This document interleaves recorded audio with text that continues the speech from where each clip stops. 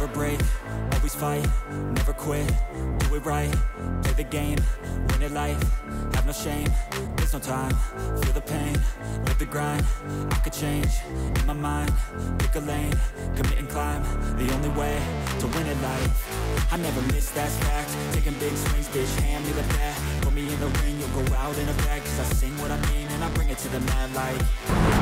OK，好了，那大家有看到我这个耳机吧？ 这个是现在收到的这个 X Run 的专业运动耳机。那它的好处呢，就是其实它这边耳骨的地方有设计一个勾环，然后它是一个符合人体工学的设计。主要呢是你在跑动的时候呢，叭叭叭叭叭，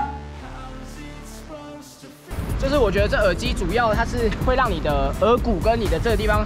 叫做服帖，也不会让你感觉到压迫。它里面的耳塞呢，也有分各种大小，就是它有很多的大大小小的耳塞，然后它有分三包，所以呢，我觉得它整体的设计是非常的呃流畅舒服。然后它里面还有一个 S Run 的专属的 App，它可以在它的这个 App 里面调整它的抗噪，那它抗噪最高可以到二十。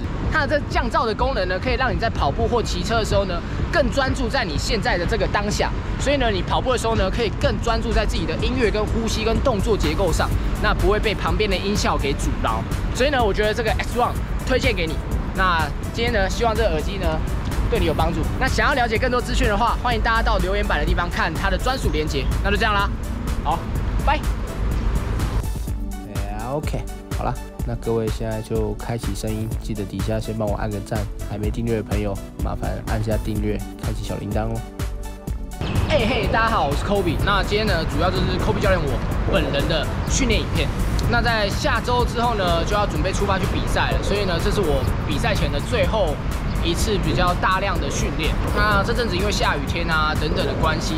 身体免疫力下降，但是我是没有生病啊。不过呢，自己会对于身体会有更敏锐的感觉，不管是你感受到身体的发炎反应啊，或者你因为睡眠的感觉比较疲惫，那这些都是免疫力下降的一个前兆。所以希望大家能够在这支影片学习到如何去调整课表，然后跟如何去面对这样的状态上面的心态调整。好了，那大家我们就继续看下去。对了，我已经热身完了，所以呢，大家就直接实际看影片吧，不要快转，因为后悔。好。没关系，就这样，拜。好了，各位，那等一下呢，我因为刚好遇到巧遇真男人学长，那我今天的课表呢就改跟学长跑，然后呢学长要跑一千公尺，那我个人呢就负责跑八百公尺，因为他的配速太快。那大家如果想知道实际的配速，就继续看下去，好不好？OK，就这样了，要训练了，拜。那第一趟很明显在动作上面呢还算是蛮有力的，不过呢 活动度上呢并没有那么的理想，跑起来的感受度确实没有那么的完善。所以呢，大家知道马克操跟动态热身的重要性了吧？非常重要。到天桥配速的时候，差不多就正负五秒，因为八百公尺我硬跟到的时候呢，就是三分整的节奏，所以还算是 OK 啊。我到了之后呢，学长继续向前跑两百公尺，那这段时间呢，就是我的休息。该第一趟配速三分整，八百是两分二十四秒，休息两分钟，加油。再回来的一趟八百公尺呢，我已经掉到两分二十七秒，也就是说配速三分零三秒左右。那这一趟距离呢，虽然回来是有点缓下坡，就是微微的上一点点，接着就缓下。可是呢，第一趟的八百公尺的三分整对我来说伤害蛮重的，就是有点重击的感觉，而且过去的时候呢，也有一点缓上。不过呢，可能对学长来说，就是这也是他比赛的配速会遇到的节奏，所以他可能整体感受度上就不会像我来的这么痛苦。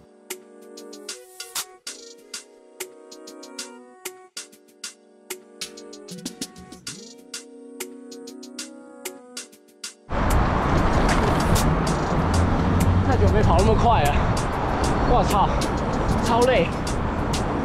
学长的跑姿还是很稳定哦。所以大家知道跑姿的重要性了吧？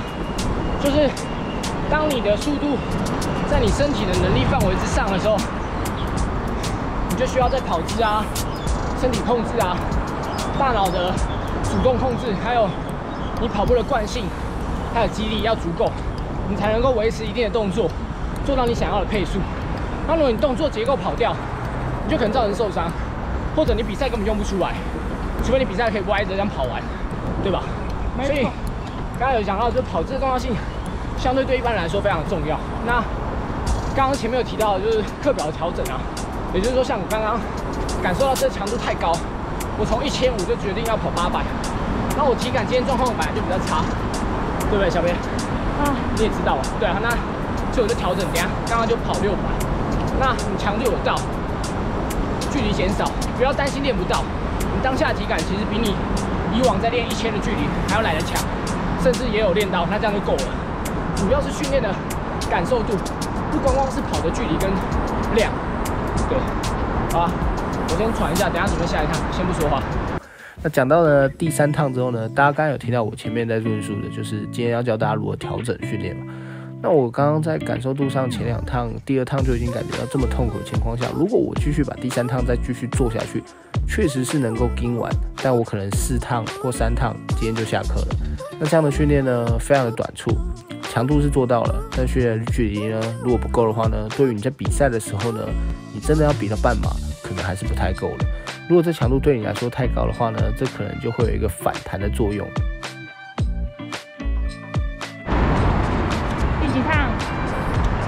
但到了第四趟之后呢，很明显，其实对我来说，这六百公尺我已经有点快咬不住了，是真的是感受度是蛮痛苦的。第五趟之后呢，真的是拿出意志力。所以说，刚才大家看到吧，我是不是快跟不到了？快！我跟你讲，现在最后一趟需要来自永和二三四的精神。等下看影片，拿出来，像个男人一样跟到底啊！大家要知道一个概念，就是。其实我们的训练呢，就像吃保健食品一样，多食无益啊。如果你真的把它硬要吃下去呢，每个人身体素质不同，当然有些人可以吃完，有些人不行。不过呢，这个效率呢是非常的低的，而且训练大量的情况下面，造成身体的破坏是相对比较大的，负担也是比较重的。如果再加上你平常的生活的话呢，其实对于大家不会是很好的帮助。所以呢，教练从来不会编排一个超过自己身体负荷太多、太多、太多的训练，这样子呢，训练的时间呢才能够拉得更长啦。那马拉松这件事情呢，是走长久的，当然呢，你要带着兴趣、带着开心的心情、带着不断要进步的心情，不断的向上攀升。OK，接下来最后一趟出发前呢，我就不跟大家废话太多了，大家就准备看我这趟完整的过程吧。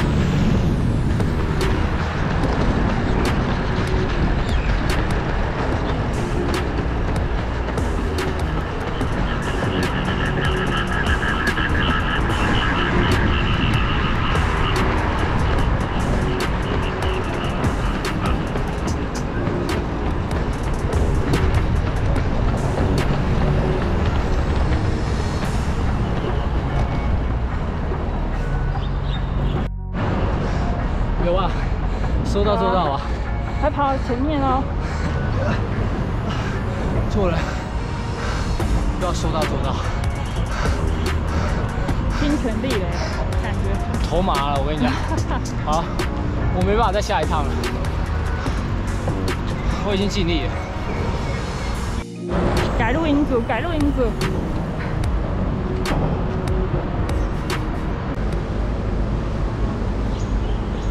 OK。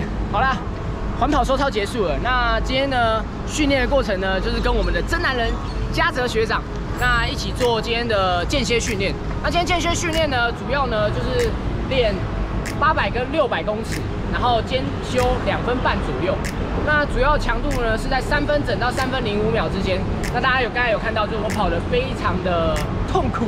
教练我平常呢没有把强度拉得这么高，就是我可能都是做比较低的强度，然后呢休息时间短一些，然后去做心肺上面的刺激。不过呢今天就是做到的感觉是比较像是无氧，也就是说我可能在做四百个间歇的能力之上，所以今天跑到六百到八百，其实对我来说强度已经非常的高。不过呢身体还算是能适应，因为毕竟在去年的时候呢，其实练习的强度也差不多有在这附近，只是说。呃，现在因为自己练，然后包含就是说比赛呢不需要用到那么强的强度，所以我的训练的质量就会降低。那今天这支影片呢，刚才在过程中有教大家说如何去在累的时候或身体状况不好的时候去调整你的训练的内容。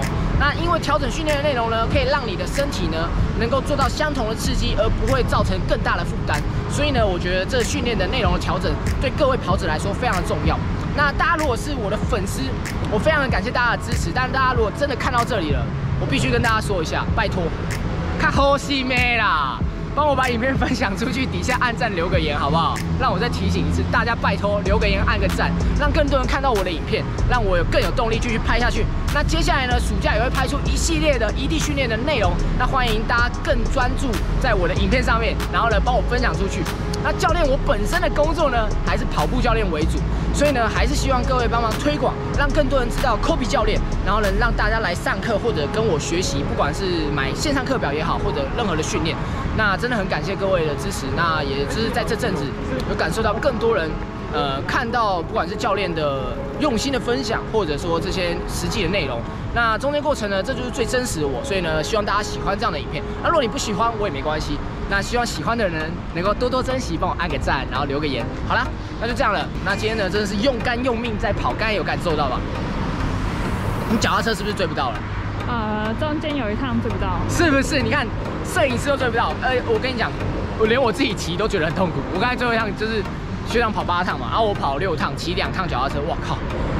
骑脚踏车比跑步还累啊！我跟你讲，好啦，反正就这样子了。那接下来呢，下礼拜呢还会有不同系列的影片，那大家就继续关注下去吧。那喜欢我的话呢，记得去我的 IG Instagram 订阅起来，拜托大家赶快去订阅，然后可以看到更多的日常。那如果呢你想要了解跑步的课程跟一些跑步的文章，欢迎到我的 Facebook 粉丝专业追踪起来。那大家可以在底下留言栏的地方点进去，就可以到我的专属链接。那大家如果想要更了解 Kobe 教练我的话呢，可以到 Google 搜寻 Kobe 奇跑步训练班或者黄俊奇，那你就可以看到更多属于我的资讯。那你也可以因为这样子更了解我而来上课。好啦，啊对了，大家看到这里注意哦，注意六月份呢，六月三十号呢是 Kobe 教练我的生日，我没有要叫大家来帮我庆祝，但是呢，在六月份的时候呢，教练会办一场专属各位的长距离团练，到时候会有配速员跟实际的录影。那希望大家呢，听到这个资讯之后呢，订阅起来，关注起来，去 Facebook 粉丝专页订阅起来。为什么呢？因为之后呢就会有活动。对有活动，没错，就是这样子。好了，那如果你喜欢我的影片的话，记得按赞、订阅、开启小铃铛，然后 shout 来自永和二三四，A.K.A 佛系教练，切。